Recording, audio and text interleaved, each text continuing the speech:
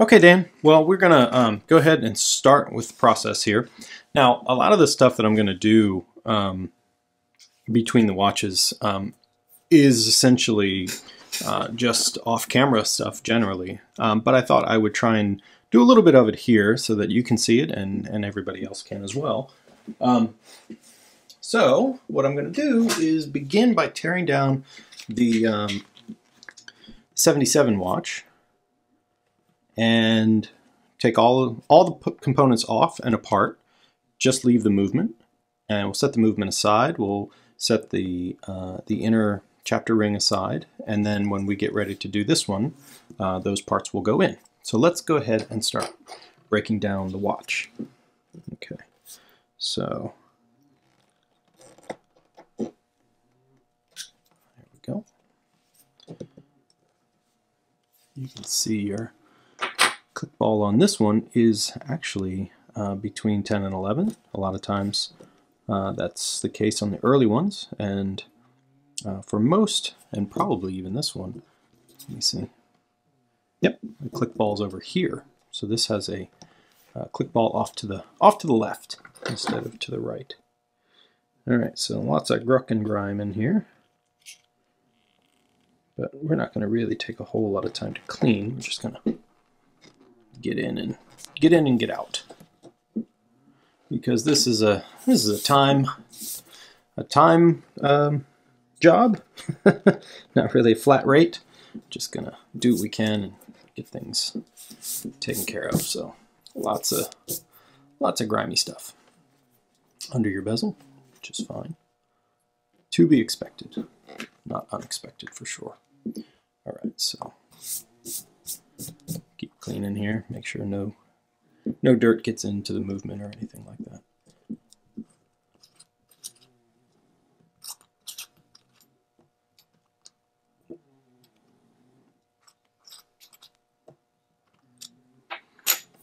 Okay, so I've got your crown unscrewed. We go ahead and remove remove the crown. Actually, I'm going to take your your rotating uh, weight off so that we have a nice uh, nice flat surface and it's easier to do the dial in hands that way. So let's just take this off and set it aside.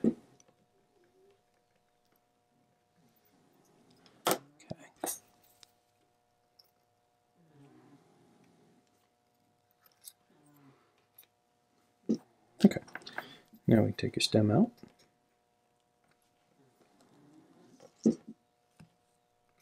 And your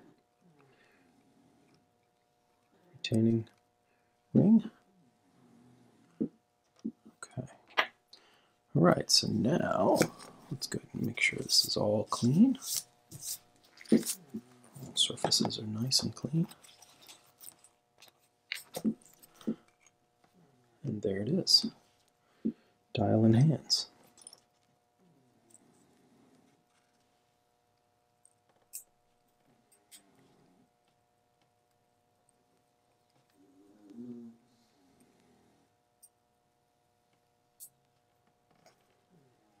Okay, now we can remove your hands because what we're going to do is we're going to move, remove the hands and dial and that will free up the movement, of course, to be used elsewhere.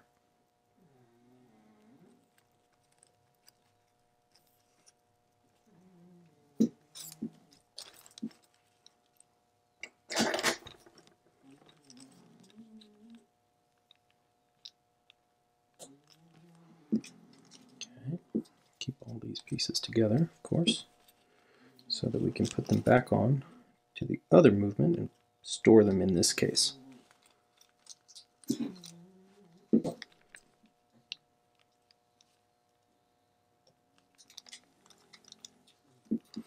Okay, there we go. What's nice is also we get to see the date on the back of your dial here to see how just how original this one is. It looks pretty darn original to me.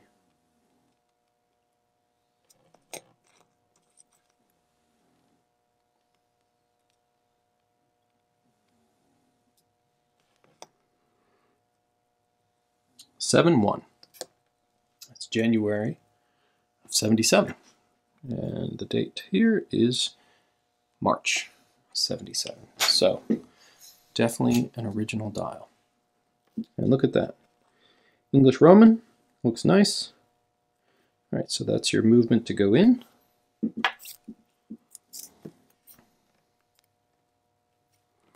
Take your stem, put it to the side. All right, we're gonna put that over here and cover that up. Make sure it stays nice and clean. All right. So next stop is to remove your crystal and your gasket and then that reveals your slightly better, actually much better. That's a very nice insert. Okay, so we'll set this aside for the reconstruction of that movement and case. Right, so now this one. So this one's going to get seals and uh, the movement. So let's do that. All right, so I'll go ahead and actually take the movement out first.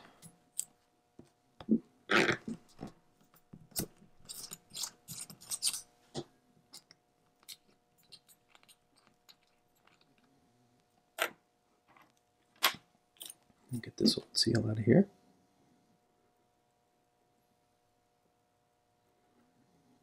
We'll just do a nice hand clean of your movement, or I mean of your case.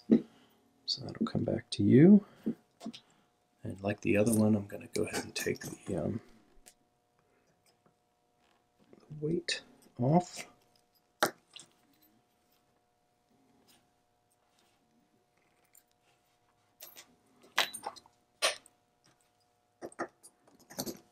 Okay. So I'm going to take out retaining and your stem come back in the picture in just a second. All right. So there that is. That's a very nice dial and handset.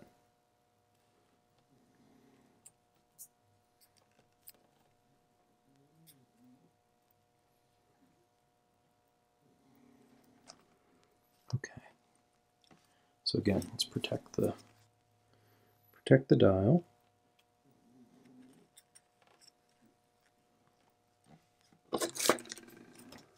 For some time to elapse here.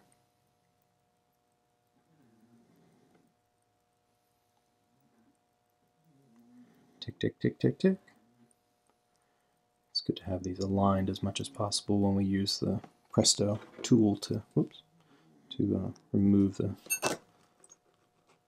second hand. There we go. Come on. Make your way around. Okay, let's time this right.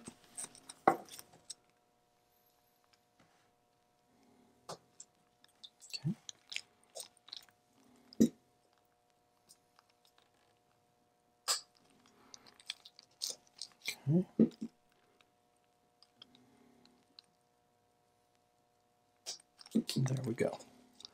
Okay. I know. So here we are. Let's go ahead and take this one down.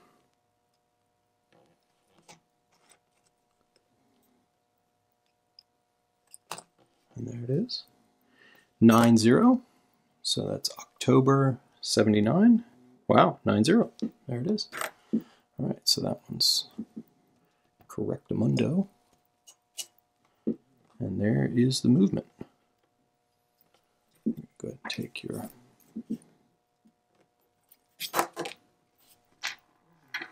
crown out again. All right, so that one goes off to the side here to be put into the other case. Right, so here's your chapter ring that's going to go to the other side of the table. So I'm sort of keeping 77 parts to the left and 79 parts to the right just to make sure everything is the way it should be. So let's go ahead and take off your rotating bezel. You can see where the click ball is. Ooh, a little bit of rust. That's okay, it looks very surface. Okay, so here's your click ball. Let's look at the differences. Look at that. Click ball here, click ball here. 77 watch, 79 watch. Interesting. Okay, let's go ahead and take your bezel off.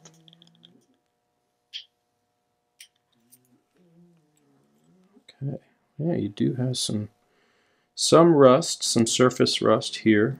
Um, we'll get that looked at very closely. So we're going to have to do a little bit of cleaning to get this the way we want it. Yeah, I'm fearful that you've got some some issues here with rust inside just because of the way that your gasket has stayed in place. Usually if it's, yeah, boy, okay. Hmm. Yeah. I think you have some surface pitting here. But perhaps it's okay. Perhaps. Perhaps it's just surface. Hmm. Yeah, I'm a little concerned, I have to say.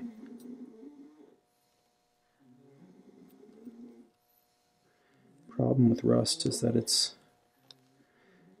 Yeah, ooh, ooh, ooh, ooh.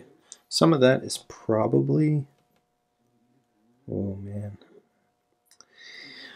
All right. Well, this case, um, this case has seen better days. Um, it's actually in much, much worse shape than this case. Um.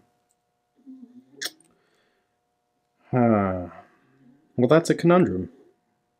I'm going to have to send you an email and figure out what to do. All right. Well, we're going to put this process on pause. Actually, I'm going to just go ahead and remove out the Oh boy. Right, let's see if this will come out without being a pain. There we go. Yeah, these two are sort of fused together due to rust and water intrusion. Oy, okay. Well, I'm not sure this mid case is the one to hold on to. As the as the one for the good watch. I'm going to run this through a clean cycle and uh, maybe put it in some uh, rust remover just to kind of get a sense of what the pitting looks like. And then we're going to come back and in the meantime we're going to we're going to send an email and see see what you'd like to do. But if you can if you can see here you get some real pitting around your sealing surfaces. That, that's all rust. Um, so we may be better off using this mid case instead of this one. I'm gonna let you decide. Okay, uh, off to the cleaner, and then we'll come back. Okay, Dan. Well, um, just one thing I want to point out for those who are watching, and for you, of course, uh, is that when it comes to um, to bezels, turning bezels, I never, ever, ever, and I recommend if people are going to clean these things, take them off and clean them. I never put them in a sonication bath. I never, ever do that. The reason is I always hand clean them, uh, and it's really just comes down to a, a wet tissue or a wet um, Q-tip, and you know I really go to every click spot and get in there and just get the grime out um, by hand because what you can see when you turn this over, there's nothing that separates your insert um, from moisture, right? So if you put this in a sonication bath, all that beautiful patinaed lume right there is just going to fly away into your into your water, and then you're screwed. So don't ever do that. Um, I want to show you this extremely stiff, extremely hard um, O-ring. It's supposed to be a piece of rubber that's nice and soft, but as you can see, cracks in half. So that's why those things are loose, because that has shrunk down and become a hard piece of plastic. So I go around, I, I stay away from the lume pip, and I go around by hand and I clean, clean, clean all of this stuff. So every 6309 and 6105 and etc. etc. etc. that have, you know, been living on somebody's wrist or in the water or somewhere, it, this stuff accumulates. But, you know, if you stick it in just the old sonication bath and let it rip, you're going to be in big trouble. Um, because you can never get that lume back. So just go in by hand and very patiently just work your way around, get up to the lume pip, kind of get all the little corners and things very, very carefully. Um, but don't ever soak this in, in something that has an agitating kind of sonication cycle. It will, it will lead you down the path of frustration and sadness. All right, well, we're gonna finish this up. I've got some, some toothpick picking to do and some other kinds of cleaning, um, but we are gonna get this nice and pretty on the inside. Of course, where nobody will see it, but I will see it and I know. So, that's it. That's my two cents. okay, so Dan, these are, uh, again, steps that I usually leave out, but um, because we've we've got um, you know this as the main main service component of the watch, that is the case things and other other stuff. I want to just point out what I do. Um, so here is your crown uh, and stem components. This has a two-part uh, stem with a the spring and a rest washer and your um, actual stem that goes inside the movement and the uh, crown stem that lives inside of your, your crown. Uh, and these all connect up. The thing we're replacing, of course, is your, uh, is your gasket. You can see the cross section of this gasket is almost a square, right? That's very flat looking and sort of, you know, sort of terrible. Um, what we're going to replace it with, of course, is not that. It is a, a lovely donut that's round in cross section, circular in cross section, and, um, and that is what we're going to put in place. So let me show you what that looks like. One here, available. There's your replacement. Of course, the exact size and uh, all of that, but but this one is a lovely little squishy donut. Just flew over here. So now what I'm going to do is I'm going to clean this inside and then put this in place and then reassemble with a little bit of thread lock and we'll be good to go. Okay. Okay, well, uh, next step, of course, is to put your crown and stem components back together. So we will begin doing that. So first your spring goes on, and then your rest washer goes on. Okay, so here's how this goes. What I do is I put the rest washer on top, grab a hold of your stem, going to take my needle nose tweezers here and I push down on your washer and then I grab the stem and I push all the way to the crown. And then I take this component and I slide it so that it is in its proper place on the crown component crown stem.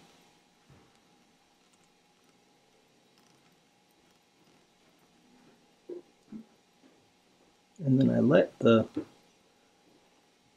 let the tweezers rest against this. And then I give it a nice sharp pull. And then if I just get it like that, it's perfectly in place. So that's my method for reinstalling. It's pretty straightforward. It's a little scary, but it works. All right, so that's the crown rebuilt. So that's for your 77 or 79. 79. All right, now what we're going to do is we're going to put your movement, dial, and hands together for the watch that we're going to assemble to be the 79. All right, usually I also don't do this on camera, but I figure what the heck. Let's have a look.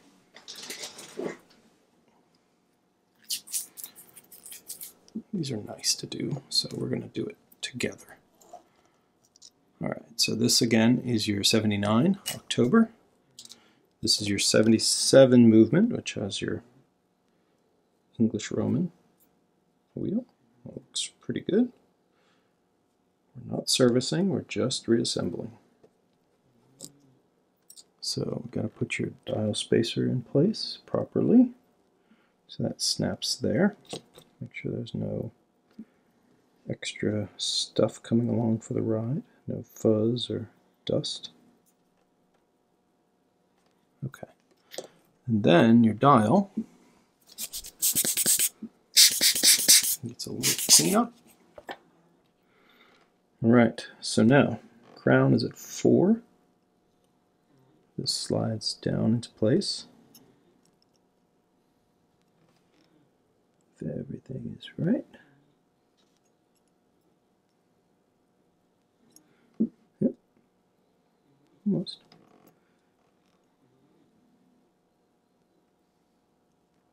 let's back those screws out just a touch.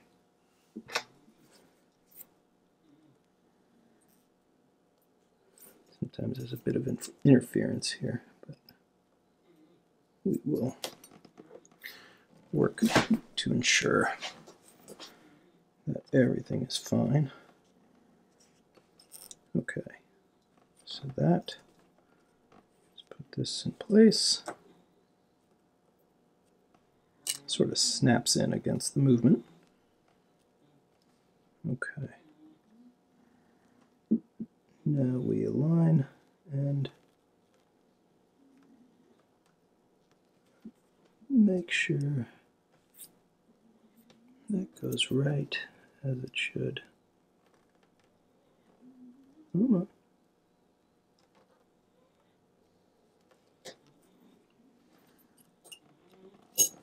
Come on. This is why I do this off camera. Just kidding. It's a it's always a bit of a delicate dance to do just to be sure everything is as happy as possible. So there we go. And yes, there we have it. Okay. Sorry for all the craziness, but it takes a bit of work. Even for something as simple as this remains a challenge. I have to come over here to the edge so I can do this properly. Okay, go to this side.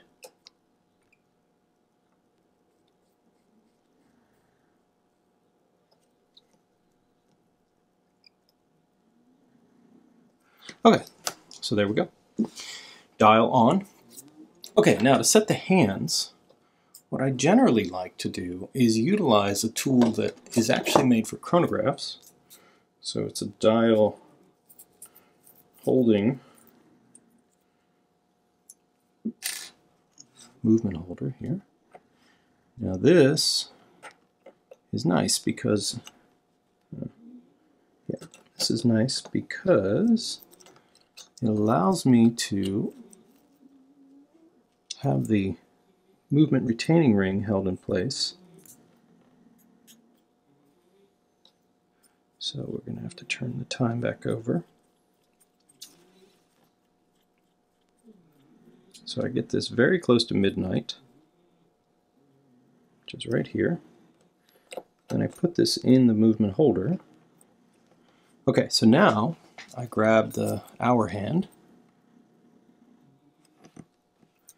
and just click over midnight. There we go. All right, so now the hand goes on. You gotta work work quickly, but not too quickly. Don't want to rush anything, of course. And then 6309s are nice because they have a nice, nice way of aligning things. All right, so now we use a tool to press the hand home its proper location. Okay.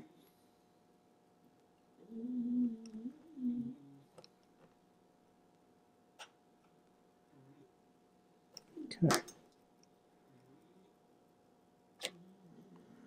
Good. Okay. Make sure everything's clean. Right, now we go around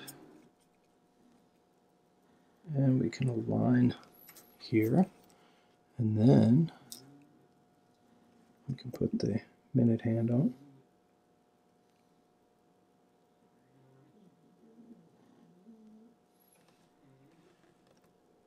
Okay.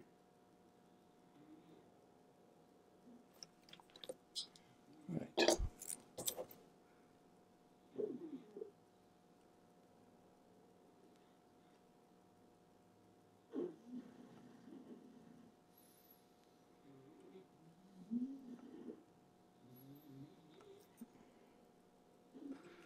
Because these are so wide, you really have to be sure they're both flat and parallel to the dial. All right, that looks quite good.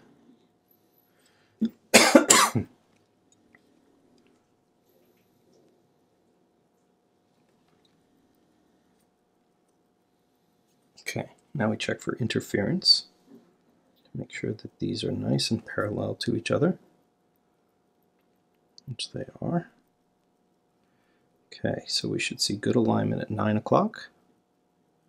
I have to check it at a few spots, of course. So that looks really good. You can see that these hands, of course, have an extension off the arrow, and then there's the there's the sword at, at midnight, and then there's a, a little extension off of the six and the nine that allows you to align the align the hands.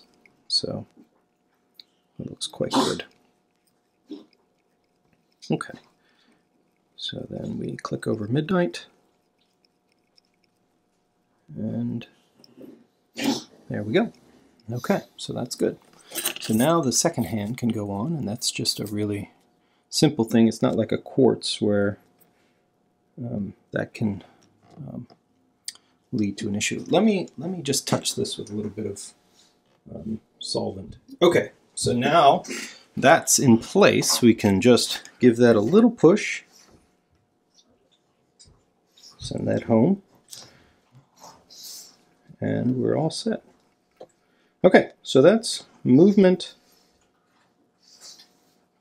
swapped. Now we just need to get your case rebuilt.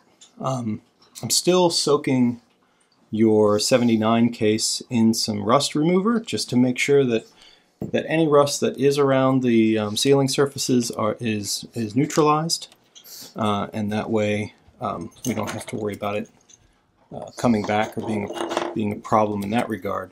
Of course, it's going to limit the ability of the watch to retain any sort of water tightness. Not that there's a, you know, a guarantee or a ability to do that after 40, 40 years of plus years of uh, of use, um, but um, you know, we definitely don't want rust to to pervade, and that's uh, that's what we're going to try and avoid. So once that's done, we will get you reassembled. But we're going to put your 77 back together. You don't really necessarily need to go through all that uh, on camera, um, but just know that it'll it'll be done in the same way this one was. All right, um, but without all the resealing of things. Okay. Thanks, Dan. Okay, Dan. Well, uh, we've got your case out of the rust remover. And you know the pitting here is is pretty pretty severe.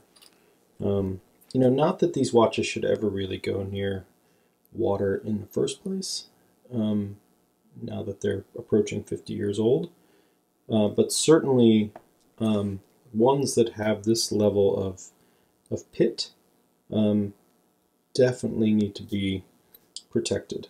Um, you can see where the water got between your seal and your case and just sat there. Even though it's stainless steel, it's still undergoes this fairly substantial uh, rust. Um, here's your ring. a lot of times rings like this will fail if they get weak and uh, you can see there's fairly substantial loss of material right in here. Now we we have uh, eliminated the rust.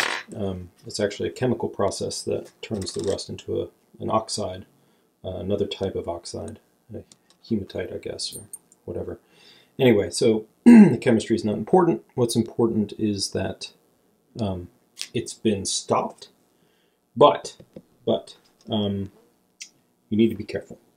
Certainly, certainly very careful with this watch.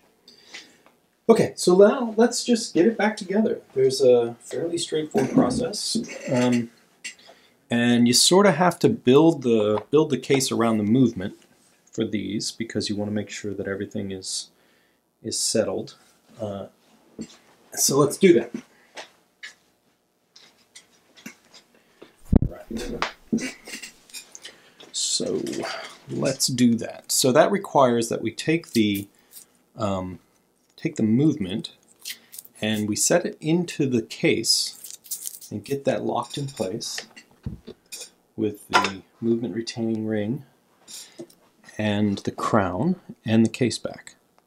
Right, so let's take your crown and stem out. Okay, so you can see that's your sort of naked movement. And now what we do is we put this in place. And you can see there's actually a cutout here in the case where this tang sticks out. And that is what aligns you with your uh, uh, with your chapter ring. Okay, so let's get that nice and clean. Make sure there's no dust or debris anywhere. All right. So what I'd like to do is go ahead and get the uh, crown and stem back in place. Maybe even give it a turn or two. Then we can flip over, and we're not in danger of the um, of the hands hitting anything. They're they're actually uh, within the movement itself, or within the case. So now we can put your retaining ring back in. And while we're in here, I'll go ahead and put your winding weight back on. Just takes a moment here to do that.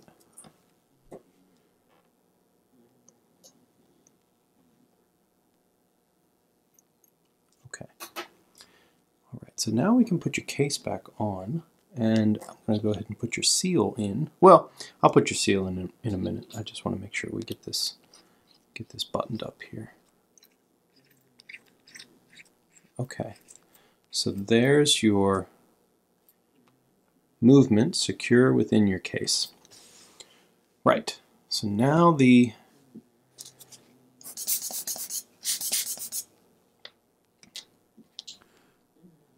chapter ring, original chapter ring from your 77. And you can see it drops right against the movement, or the dial, and uh, holds that down. Okay, so there's your gasket retaining plate.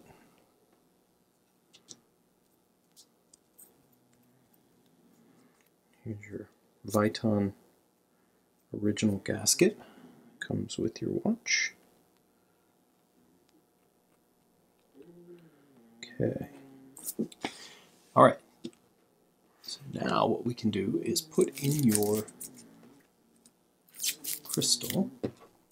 And what we will do is we will take your crystal and press it into the gasket, making sure that the gasket stays in its proper L configuration here.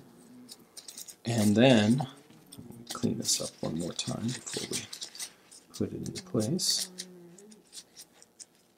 Try and get any residual residue off of both sides. Not that we can't clean it a bit, but it's always nice to start as clean as possible. All these things.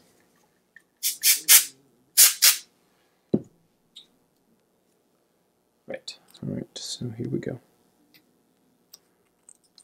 So press that in, even or all the way around. Make sure it's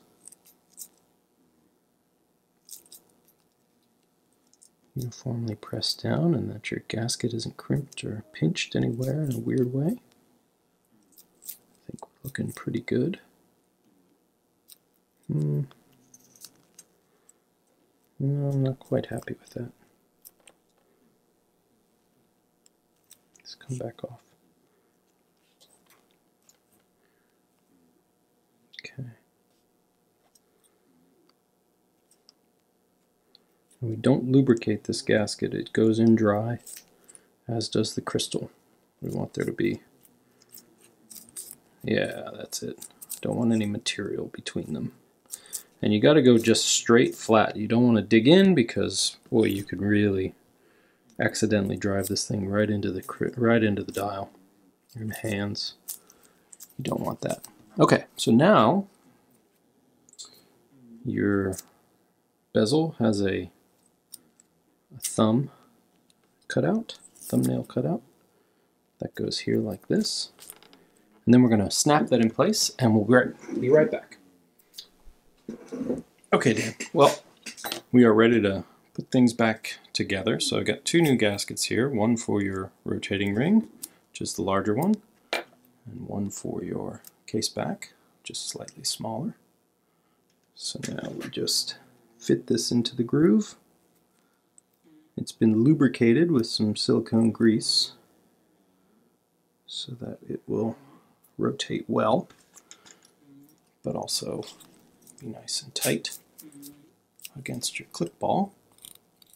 Yep, that's what we want. Okay, so let's get that cleaned up a little bit here. Okay, so that's that. Now, take the case back, back off we will install your lubricated case back seal. Now this sealing surface is good. It's in great shape. It's just your bezel, it just sat with water under it for too long, unfortunately. Okay, well, that, sir, is job done. Um, all right, so let's just review. Uh, what we've done is we have done a swap, essentially. We have taken uh, a movement from your 77 and put it in your 79. Um, we've, and we've taken the movement from your 79 and put it back in your 77, so it's good storage for that. I haven't done anything with the case or the seals or anything with this. This is exactly uh, as it came in. We also took the uh, movement, um, what's actually the, the chapter ring from this watch and put it in this watch and then vice versa. So now this one presents a bit nicer, I would say, in terms of all of the details. Um, it's a great little watch. I mean, these are just so clean and nice. This too, I mean, this is a good little watch. I think that with some TLC and some attention, this will, you know, it's a first year first year watch, and it you know it deserves to be um, in good shape. It's a it's a cool cool example. So uh, that's where we are, Dan. I appreciate um, you getting this to me, and I'll be happy to get these back to you. uh, and um, we'll be in touch. All right. Thanks for watching. Take care.